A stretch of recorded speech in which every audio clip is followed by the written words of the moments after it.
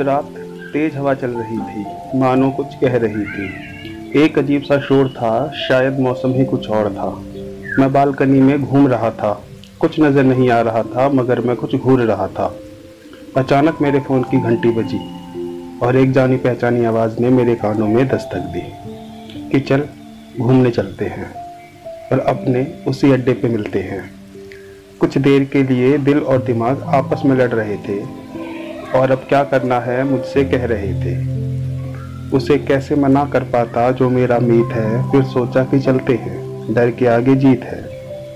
माँ से बोला कि खाना बाहर खाऊँगा, ताला मत लगाना, थोड़ी देर से आऊँगा। मौसम खराब है बाहर, माँ समझा रही थी। बहुत बिगड़ गया है तू, यह चिल्ला रही थी। छत पर तो बस तेज आंधी थी, नीचे आया, तब तक कुछ बूंदा बांधी थी। भागते फिरते लोग घरों को आ रहे थे और हम आवारा घूमने जा रहे थे। लग रहा था कि मानो साजिश चल रही है और माँ के गुस्से की तरह बारिश भी बढ़ रही है। बरसात की वो रात थी और बाइक दुकान के पास थी। मन में कुछ करने की जिद थी और हाथ में एपी फ़िश थी। बारिश से बचने को लोग आ रहे थे, कुछ आपस में बतिया रहे थे। अरे थोड़ी देर और रुक जाती बारिश, कहते हुए सिगरेट अपनी सुलगा रहे थे। कुछ सोचते सोचते फ़ोन निकाला मैंने, हाथ पोसते पोसते। फ़ोन मिलाकर देखा, मौसम कितना मस्त है। उधर से आवाज़ आई डाइट नंबर अभी व्यस्त है। कभी कभी बौछार ऐसे आ रही थी, मानो हवा और बूंद आपस में रेस लगा रही थी।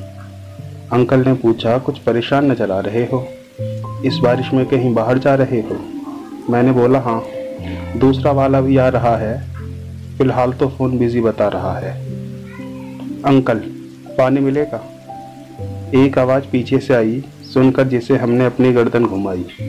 बारिश से भीगे, बालों से टपकता पानी, कह रहा था मानो हज़ारों कहानी।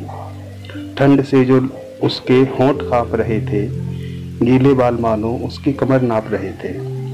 ओस जैसे सुबह पत्तों पर रखे जा रहे थे, उसके गालों पे बूंद ऐसे ही नज़र आ रहे थे। उसकी गहरी नीली आँखें कितनी मनमोहक है, तभी अंकल ने बोला हाँ बेटा, पानी की बोतल है। उस आवाज़ से मेरा ध्यान टूट गया था, लगा मानो एक सपना छूट गया था। पैसे देकर अंकल को बोतल उसने उनसे ले ली, फिर खोल के ढक्कन बोतल की, झट से तीन चार घूट पी ली। बारिश का शोर था, गाड़ियाँ भी आ जा रही थी, पर ना जाने क्यों इतनी आवाज़ में भी उसके पानी पीने की आवाज़ आ रही थी।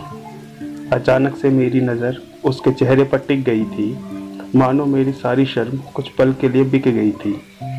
मुझे परेशान कर रहा था, जाने वो कैसा शोर था। ध्यान दिया तो पता चला, साला वो मेरा ही फ़ोन था। बिना नंबर देखे फ़ोन रिसीव कर जब मैंने अपने कानों से लगाया, दूसरी तरफ़ से मेरा दोस्त चिल्लाया।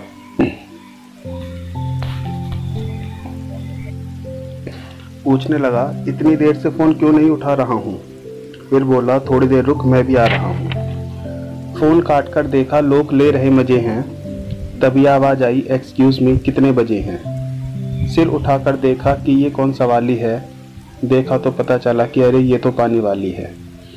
थोड़ा सा शौक, बट थोड़ा इतराते हुए, क्या आप मुझसे पूछ रहे हो? हाँ क्यों? आपका मोबाइल टाइम नहीं बताता, या फिर आपको देखना नहीं आता। एक बार को तो ईगो हर्ट कर दिया। हमने भी फ़ोन ओपन कर सामने कर दिया। ओह, आठ बज गए। कब रुकेगी बारिश? कब मैं घर जाऊँगी? ऐसी बारिश में तो मैं पूरी भीग जाऊँगी। हेलो, आप मुझसे कुछ कह रही हो? अरे नहीं, आप कुछ परेशान लग रही हो। हाँ एक तो बारिश, ऊपर से फ़ोन ऑफ़ है। समय का ही तो सारा दोष है। रात में जाने कैसे हालात होंगे? और घर वाले भी तो परेशान होंगे। अपने कुछ हालात समझा दूँ। आप फ़ोन दिखाओ तो मैं घर वालों को बता दूँ। यह सुन मैंने फ़ोन उसे दे दिया और फिर उसने एक नंबर डायल किया। हेलो पापा, मैं बोल रही हूँ। मेरा फ़ोन ऑफ़ है और थोड़ा तेज़ बोलिए, यहाँ बहुत शोर है। बारिश से पानी जगह जगह भर रहा है और हाँ दवाई खा लेना, आठ बज रहा है। हाँ पापा टाइम ज़्यादा हो गया है और भाई क्या खाकर सो गया है? अब मैं घर आकर उसे कैसे सताऊँगी और बारिश रुकते ही मैं घर आ जाऊँगी। यह कहकर उसने फ़ोन काट दिया और मुझे थैंक्स कहकर सम्मान दिया। इस बारिश में आप यहाँ। क्या घर के लिए आप भी लेट हैं? मैंने कहा, अरे नहीं, मुझे किसी का वेट है। थोड़ी गुस्से से। ऐसे मौसम में घर से बाहर? क्या लगता है कि आज दिवाली है? या आप घर से खाली हैं? अब मेरे मन में ये विचार चल रहा था कि मेरे खाली होने से इस पर क्या फ़र्क पड़ रहा था। मैंने फिर थोड़ी दबी आवाज़ में उससे बोला आप लेट हो रहे हो, चलो कुछ खाते हैं। और ये अंकल चाय बहुत अच्छी बनाते हैं। आपको कैसे पता? क्या रोज़ आते हैं? रोज़ तो नहीं, पर हाँ दूसरे या तीसरे दिन मैं और बंटी यहाँ समय बिताते हैं। वही बंटी जिसका मुझे इंतज़ार है, जो इस बारिश में घूमने को तैयार है। क्या बात है, दो दोस्त बारिश में घूमने जा रहे हैं। और हाँ क्या चाय आप पिला रहे हैं? हाँ क्यों नहीं? कौन सी बड़ी बात है? और इस सर्द रात में इसी की तो आस है। अंकल, दो कप चाय बना देना और संग समोसे के देना। यह कहकर फिर से नज़र उस पर गई, जहाँ फिर से मेरी नज़र टिकी गई।